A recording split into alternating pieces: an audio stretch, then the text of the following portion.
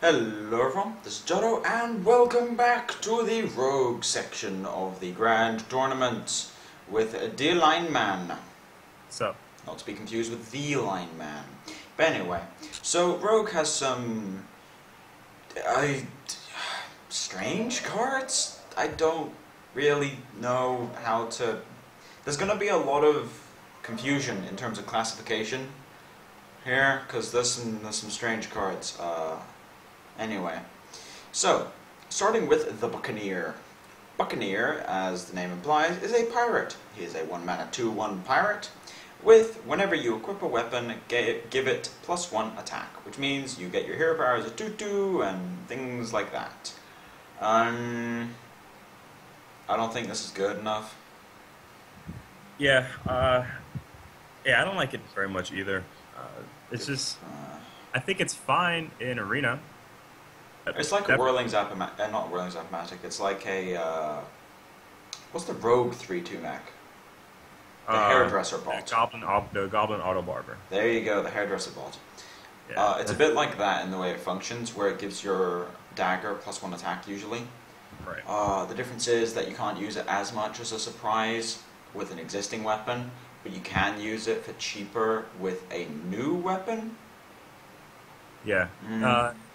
Yeah. The thing is, is that when you play this card, you also like when you play it on turn one, you need this. You need this to live, which is not unlikely when you play it on turn one.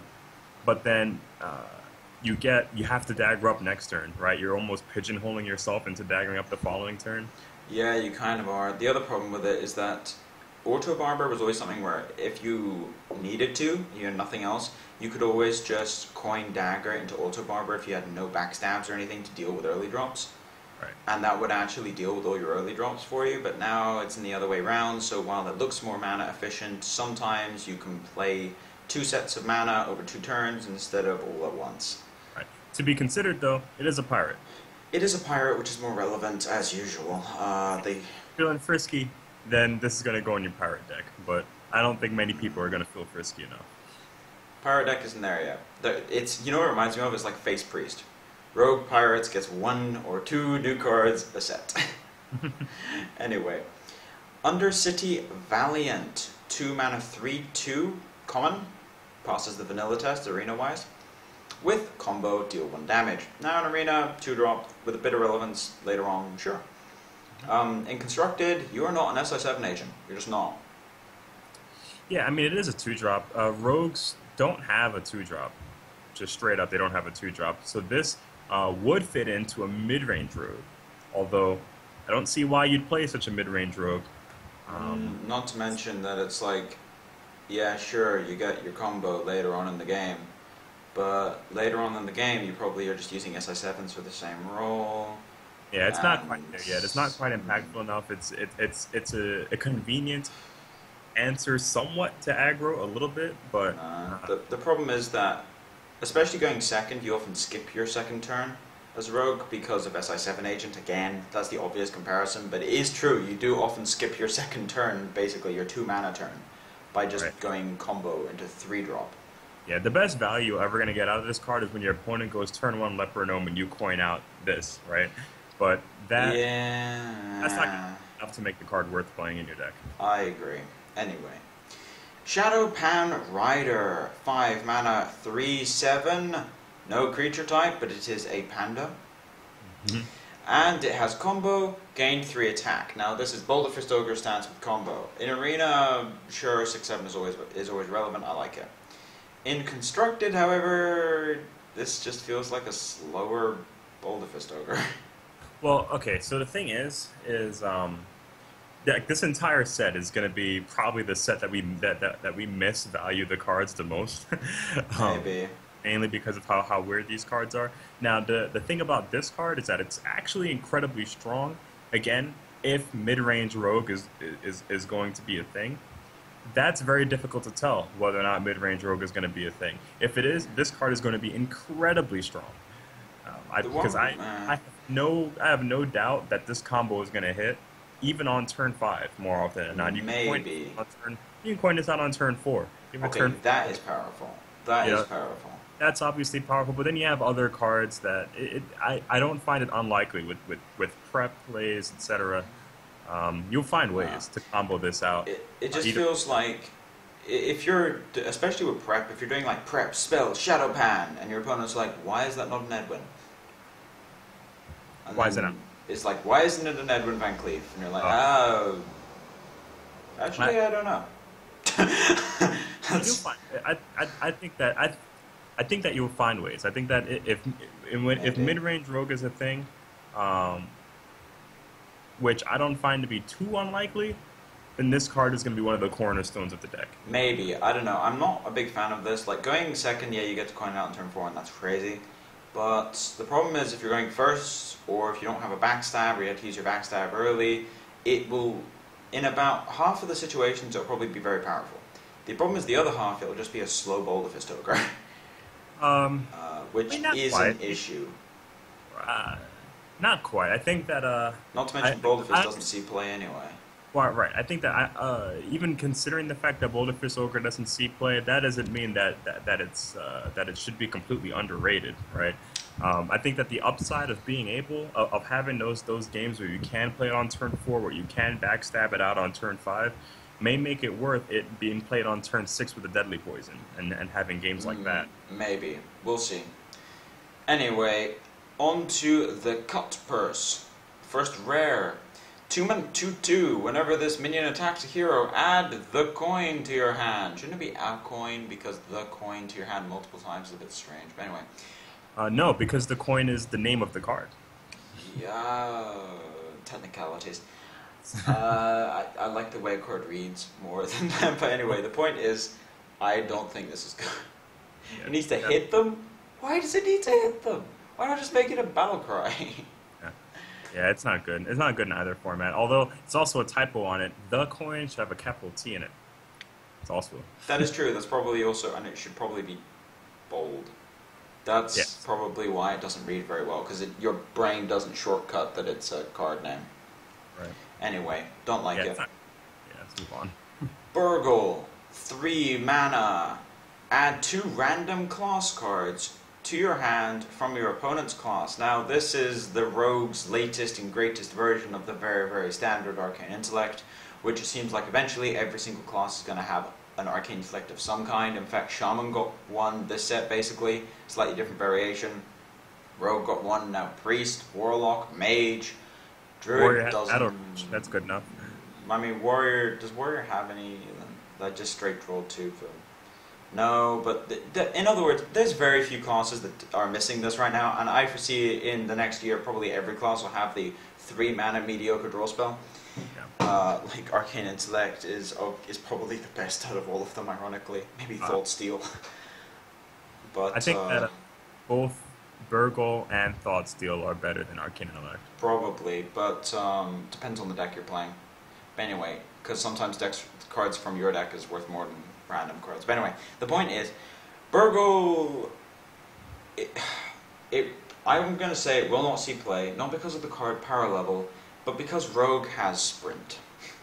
Yeah. And this feels like the most overkill on draw ever. And often, Rogue is one of those classes where the cards in your deck are very synergistic, so getting two random class cards will often be worse than Yeah, cards um, in your deck. Well, that's the thing is that this card's not going to be seen in those combo Rogue decks, right? Or we're- Oil Rogue or anything like that. Yeah, a Rogue, Miracle Rogue, but they're not going to use this card. There's no, there, it doesn't, it doesn't help anything. Um, like I, I hate to keep plugging mid-range Rogue, but it feels like that's why this card exists, right? Is to make that. I Um, still, I think, nah, I still disagree there because Rogue is the kind of, is the kind of class which they always find something to do with their mana because they have a lot of cheap spells and they have the hero power which they can keep spamming. So they always find something to do with their mana. So playing Burgle on turn three or four or something, there's something just feels wrong. Whereas it's often better just to play out your hand and then sprint up later. Yeah, but how, how many times do you re-dagger a, a, a, a one-one weapon already? That's right? not Like, the point. The point is that Rogue in general likes curving out. They're a bit like Druid in that regard. well, yes, but it's, it's but it's easier to curve out when you have cards in your hand to do it with. Yeah, but the question is, the problem is Burgle has to be played to make it worth it in most situations because Sprint is such a powerful late game card. especially with preparation. Like I remember there were a couple mid-range rogues that were literally running preps just for sprint. um, like you need Burgle to have effectiveness in the earlier turns, so that you can warrant playing it over, oh, not over sprint necessarily, but as a supplement or instead of a second sprint. Now the problem is, especially with mid-range rogue, they're probably gonna have some three drops already, and they're probably gonna have some four drops which means that it's not necessarily the card power level, it's the problem that you're going to have an issue where you're just like, I can't find a turn to play this. Yeah, I don't. Yeah, I, yeah, I think that's where the issue lies. Is I don't think that it's going to fit into into decks, uh, especially especially not as a two of. Especially sure. since Rogue is a very tempo based class. Even mid rangey rogues traditionally have a very tempo style to them. And Burgle directly loses you tempo because it's a draw spell that gains you value and card advantage, but not in tempo.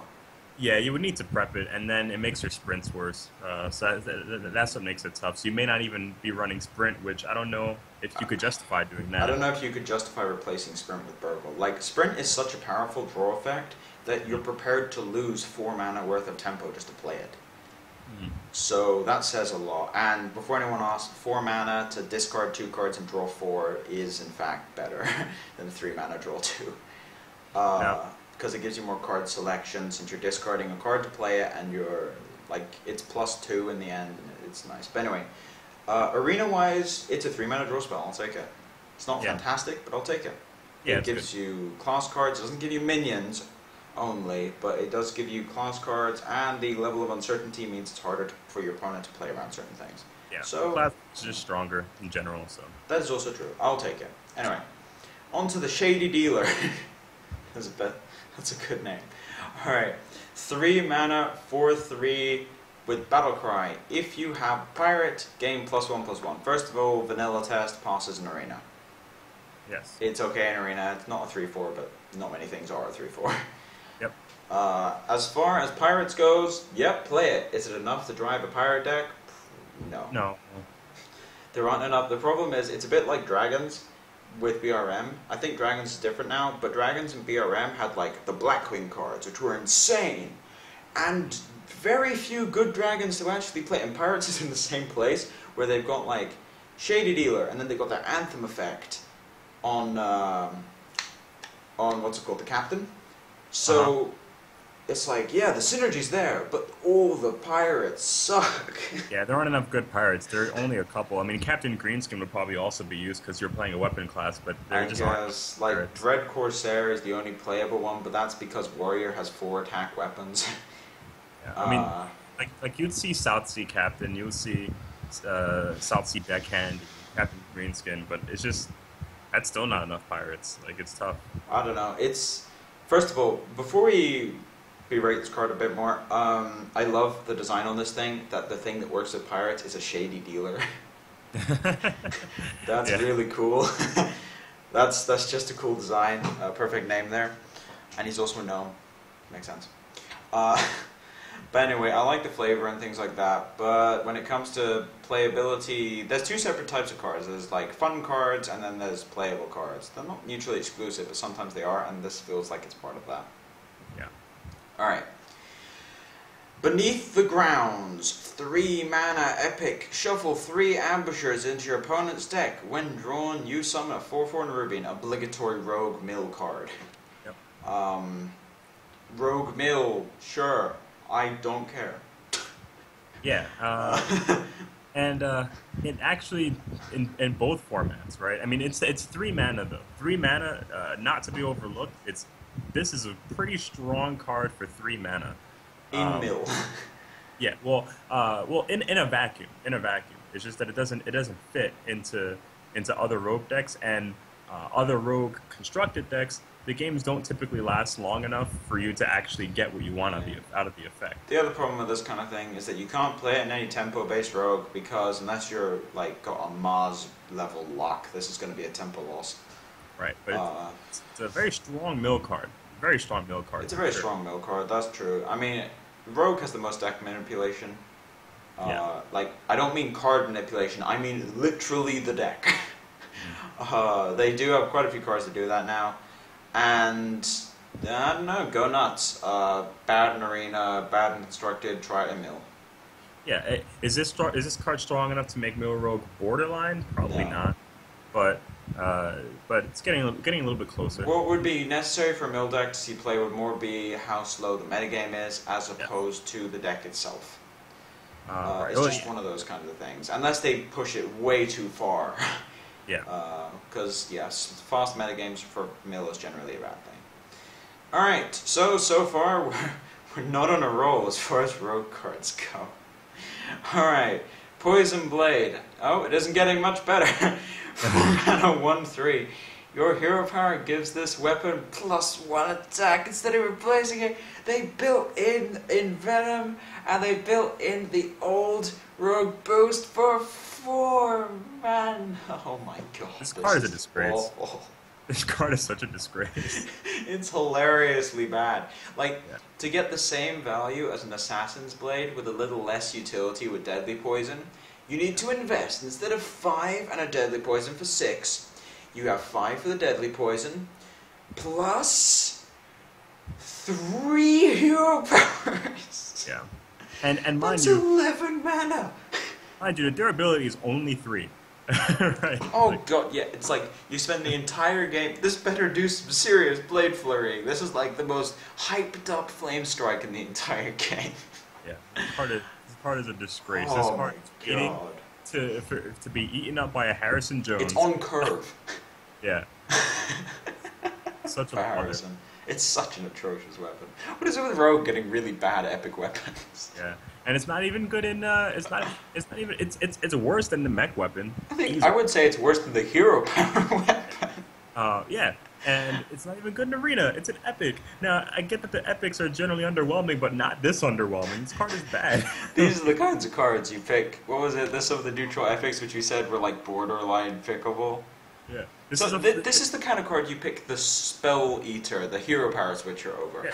This, no, I picked Doomsayer over this. This is a four mana Lights Justice with less durability. like, are you kidding? Oh my god, this is so bad.